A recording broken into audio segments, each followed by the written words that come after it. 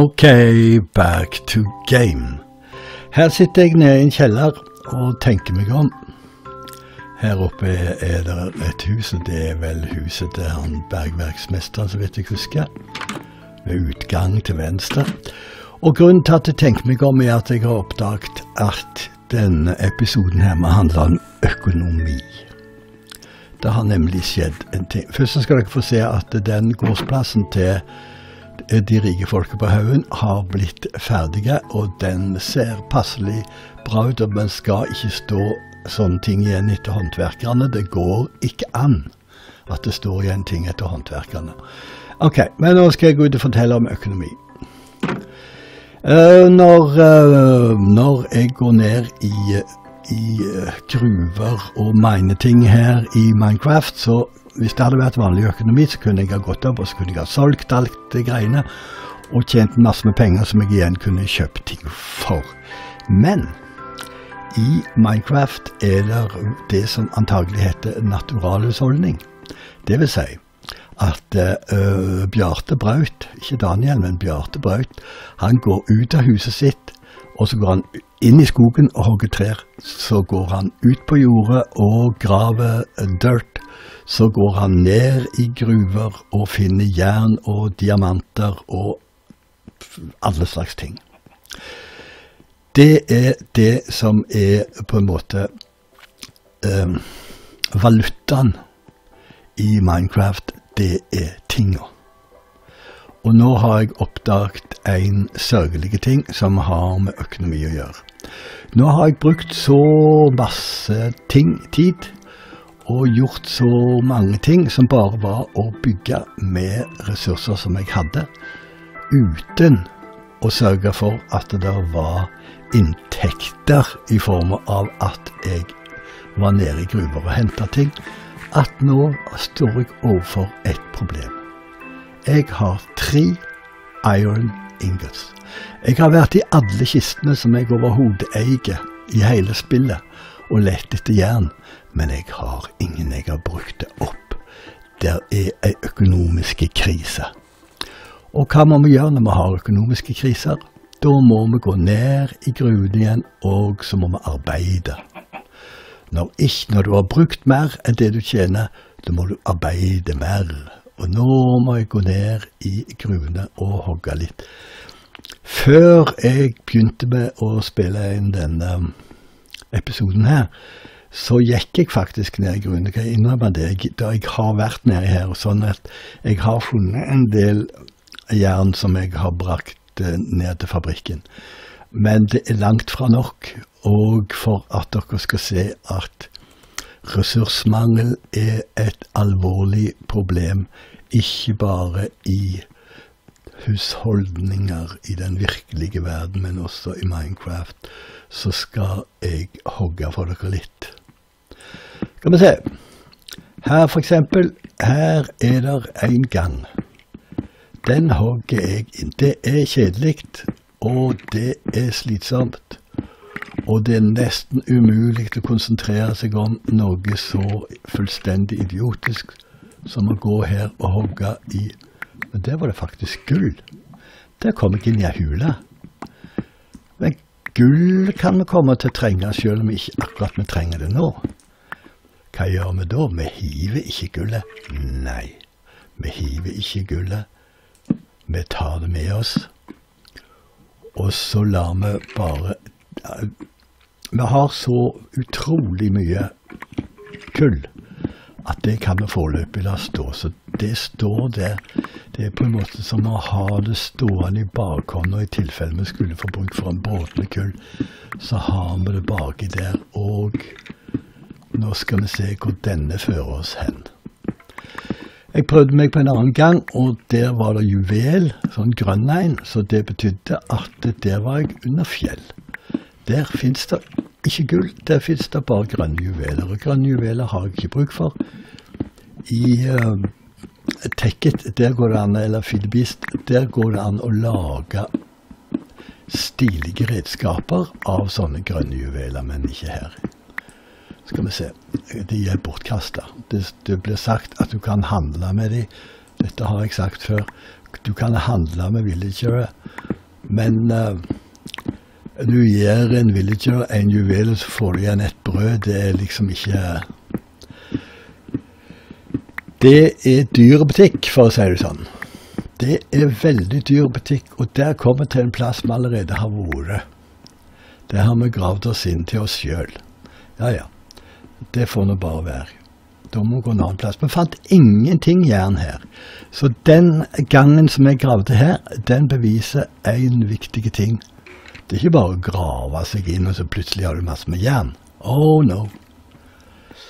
Det er ikke alle steder at det finnes ting som du trenger. Noen ganger så er den beste måten å finne jern på å begynne å grave høyt oppe, og grave seg gradvis nedover, fordi at jernet er på forskjellige nivåer.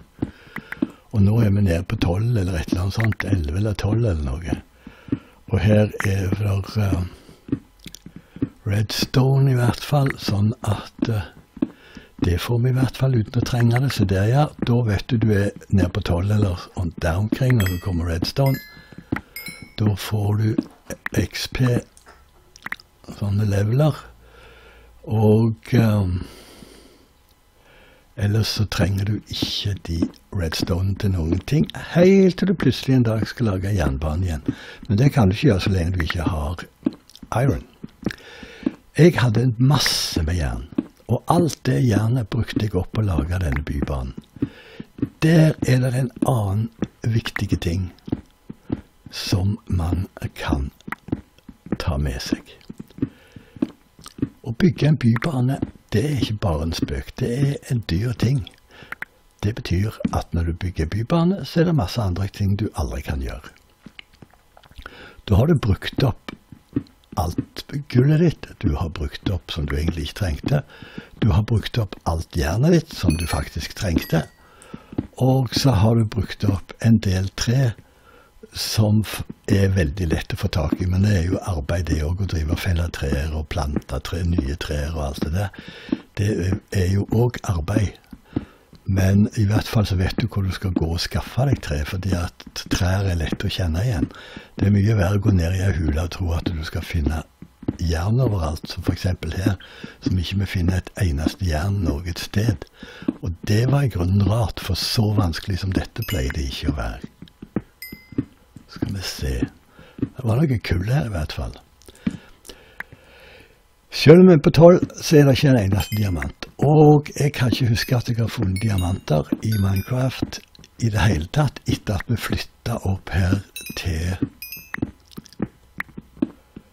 til denne her eh, Fårevik biotopen som vi nå bor i det er Fårevik og slettestrøka innafor. Det er der vi bor nå. Fårevikslettene. Her har jeg nå for lite plass i inventoryen. Da skal jeg vise hva jeg gjør.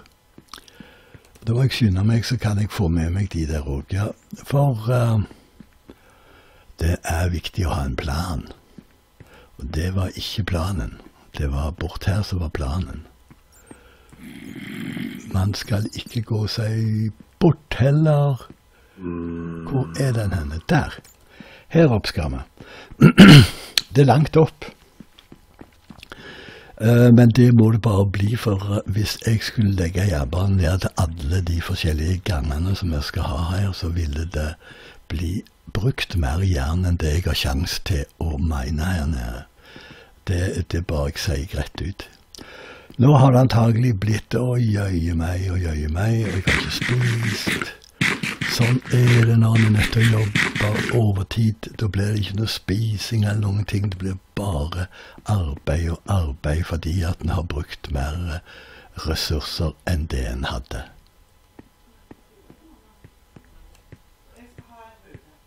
Skal, oi, der er det natt! Der er det natt. Sånn.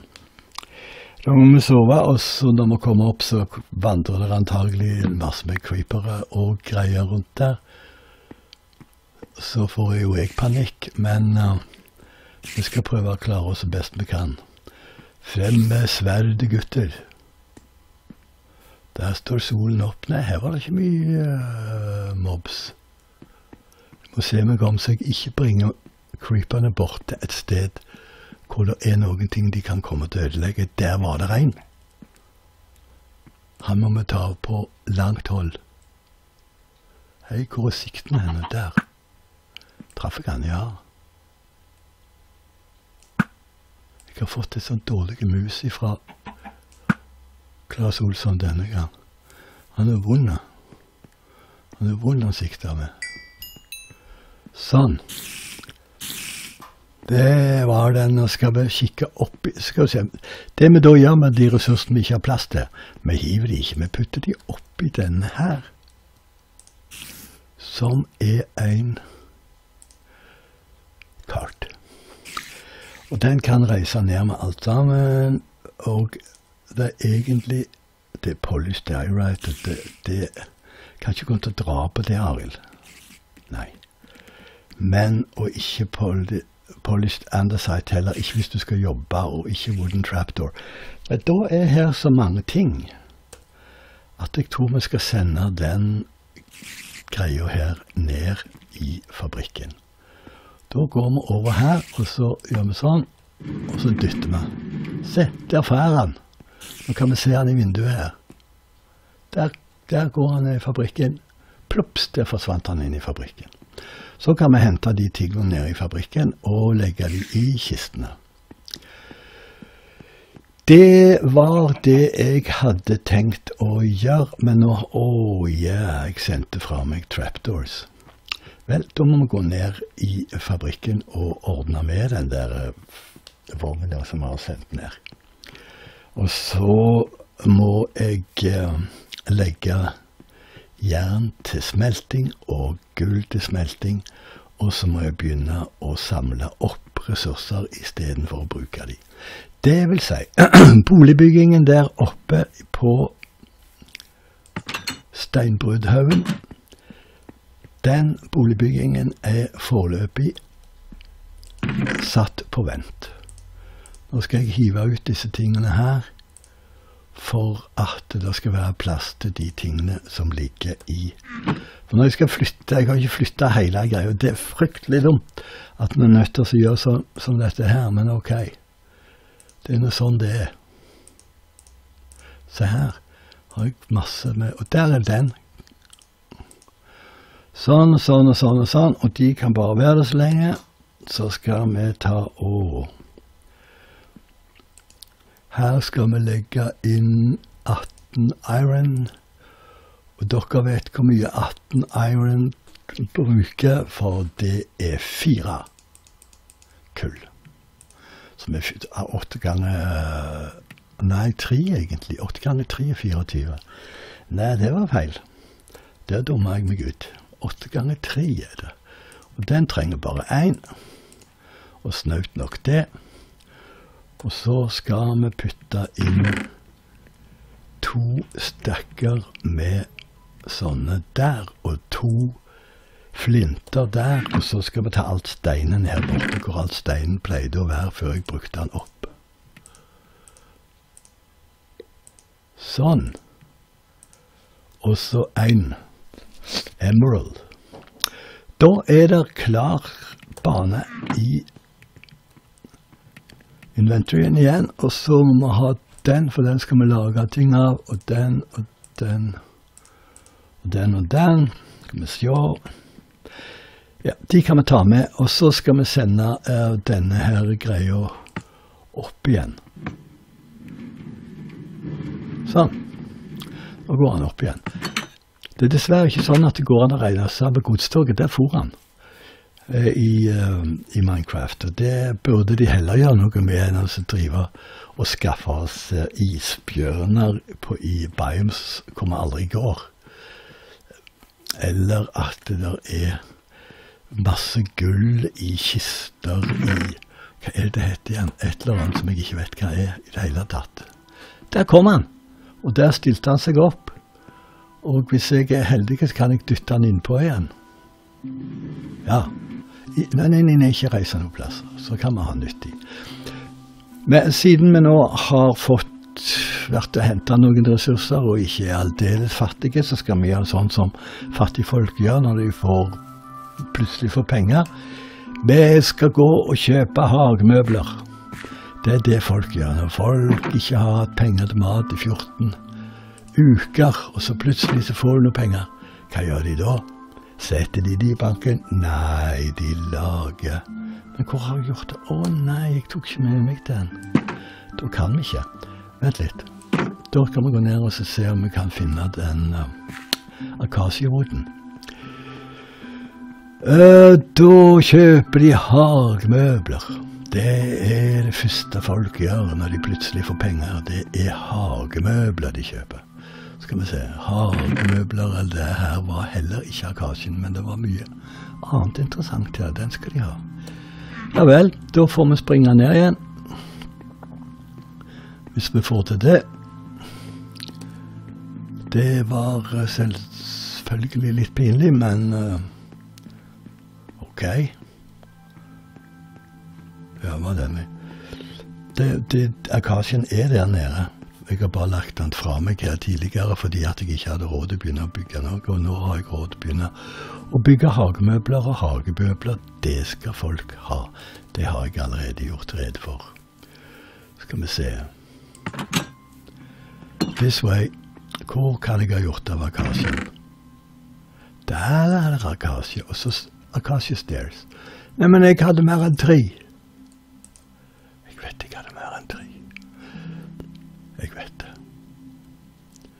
OK, her du. Nei. Der du. Nei. Har gjort det de andre akasie stairsen som jeg hadde. Ja vel, det får holde. Vi springer opp igjen. Vi fikk nå med oss noe akasje uansett, da. Så har vi med Å, vi skulle hatt mer tre. For fem sånne trapdoors, det er lite. Her tidligere så brukte jeg til og med jern til sånne trapdoors. Det er jo å sløse med jern. Jeg har bare sløst og sløst med jern. Ikke her er noe akasio for har jeg allerede kikket. Ja vel eh, Men det er ei kiste her borte hvor akasien kan være. Ah, jeg kan ha lagra den inni huset. Der er ei kiste inni huset. Hvis vi går rett forbi der hvor håndverkerne har satt igjen arbeidsbenken sin uten å rydde den vekk, da så ser vi oppi her kan det være akasje. Det var det ikke. Men det var mye annet leie, så vi kan lage faktisk flere trapdoors hvis vi trenger det. Og så går vel antagelig sola ned. Uh, ikke riktig ennå. Her må det være en sånn sofa. Nå skal vi se. This away, I tell you. Sånn. Så tar vi den og legger der. Og den. Og legger der. Vel, og så må vi ha eh, Ta halvdelen av med. Vi må ha flere stairs. Ingen tvil om at vi har flere stairs. Tolv er fint. Her kan det stå en Nei, der kan det stå en stol. Og da kan det være en trapdoor der. Og en trapdoor der. Det, det, var jo litt lite da på en svær plass. Så må vi ha noe midt utpå her. Men hva skal det være for noe?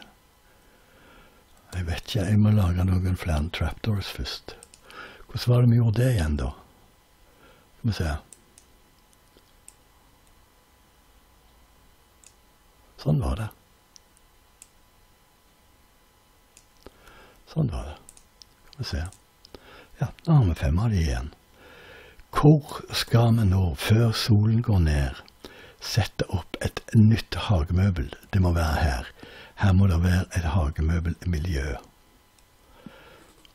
Her må det være et miljø. Og de skal jo vekk, da. De skal vekk med en gang. Skal vi se. Sånn. Vi kan ikke ha de der. Sånn, ferdig med det. Da blir det et miljø. Sånn, og Der sto ikke i veien. Sånn og sånn. Og så står den ikke midt på, og det er veldig bra. For Da kunne vi hatt en stol der òg, men det vil vi ikke, for det er et lite hull inni der, og så skal vi sove.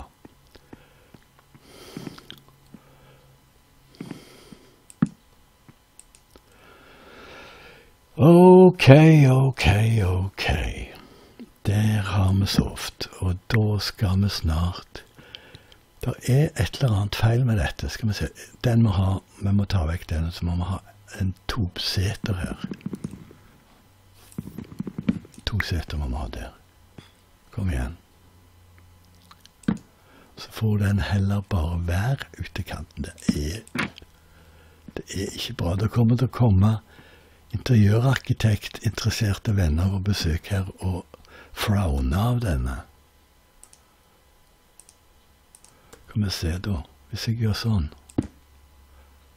Nei, det var den. Den er helt lik. Ja, men vet du hva? Hvis vi gjør sånn, da. Går det an å legge den oppå? Ja. Vi gjør sånn. Det gjør vi. De får bare si hva de vil. Der skal den stå. Så har vi eh, gjort sånn, og så kan vi si at eh, det var helt fint. Til neste gang, ha det bra.